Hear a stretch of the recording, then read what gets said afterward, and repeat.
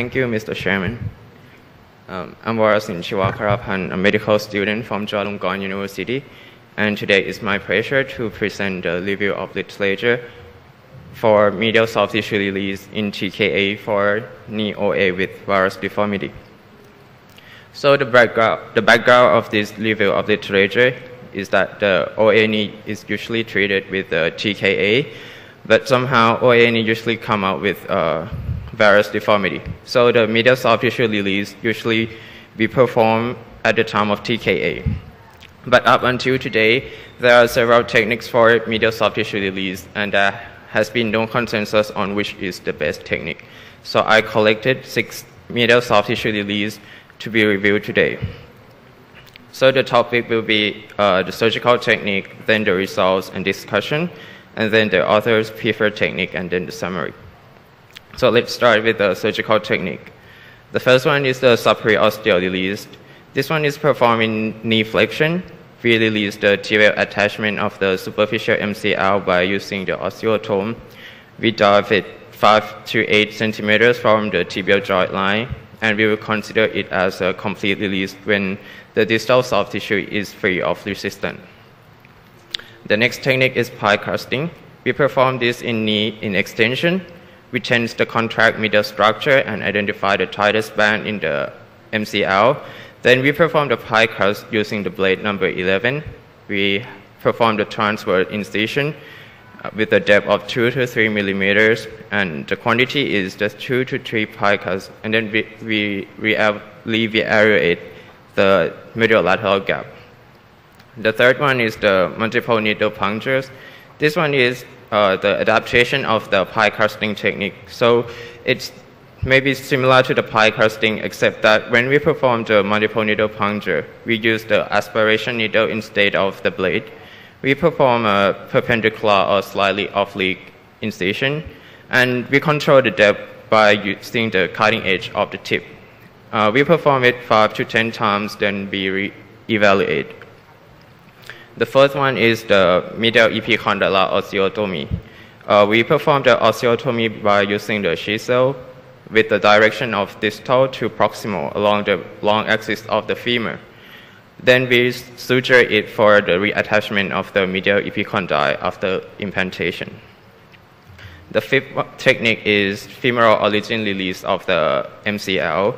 This one is performed in knee flexion we identify and measure the anteroposterior width of the MCL insertion. Then we perform the release using the blade number 11. Each time of the release is one third of the width of the AP. And then we perform it until the medial lateral gap becomes balanced.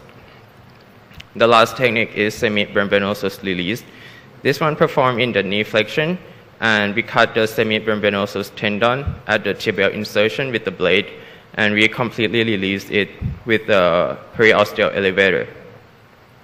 So go on for the result of each technique. Uh, the subperiosteal release, there is a study to, there is study of the midterm clinical outcome, and in that study they found that 80% of the knee were defined as stable, and there is no case of reoperation due to the MCL instability.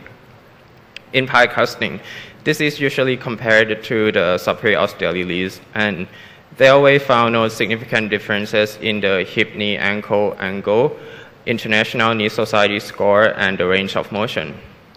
In multiple needle puncture, uh, a quantitative study, and they found that after every five needle punctures, the flexion and extension gap significantly increased. And they also found the predictors for the over release in this technique which include knee inflection, narrow MCL, and severe osteoarthritis. In medial epicondylar osteotomy, this one is compared to the subperiosteal release, and they found that there is no significant difference in the clinical outcome, but somehow they found it the less stability of the knee in this group. In femoral origin release of the MCL, uh, in one study they found that 4 out of 17 knees uh, becomes valgus instability at 12 and 24 week, but at the final follow-up, they found no remnant of the instability. In semimembranosus release, Uh, when they compared this to the non-release group, they found no difference in the strength of the knee. But they also found that they still have the knee with the residual medial tightness with performed with this technique.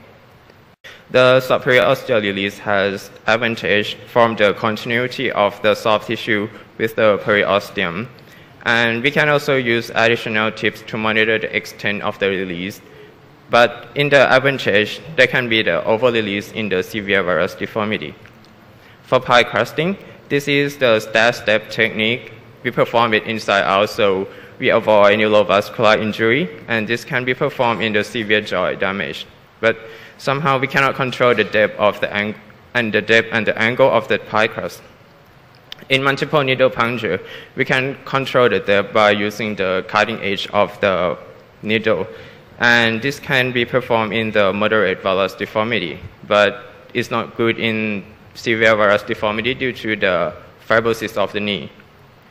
In medial epicondylar osteotomy, the advantage is that the knee stability. This is because the continuity of the MCL and the adductor magnus. And this one uh, has bone-to-bone healing. Mm, the disadvantage of this is the fibrous union and the heterotopic ossification can also occur. For femoral origin release of the MCL, this has a better in healing environment from the abundant blood supply at the femoral origin, and they say they use less area to be healed, and this one can be performed in the severe varus deformity. But uh, we need more study to confirm the advantage of this technique. For semi-membranosus release, uh, the advantage is that this one is usually uh, combined with other techniques, so we can avoid unnecessary release. But uh, so the disadvantage is that we need to combine it with other. So in our institute at Chulalongkorn Hospital, we prefer to use osteal release because we have performed a study and we found that there has good midterm clinical outcome after we follow the patient for six years and in this, in this technique, we do not need any further attenuation of the superficial MCL. And even we found that we use thicker polyethylene in this technique, which contribute to elevation of the joint line. But from the study, we found no effect of the range of motion from this technique. So the conclusion of this review of the literature, up until today, there is still no consensus for the best technique to be used. And we think that uh, the best technique to be used in any institute is depend on the surgeon's surgical skill, experience, and preference. So thank you for today.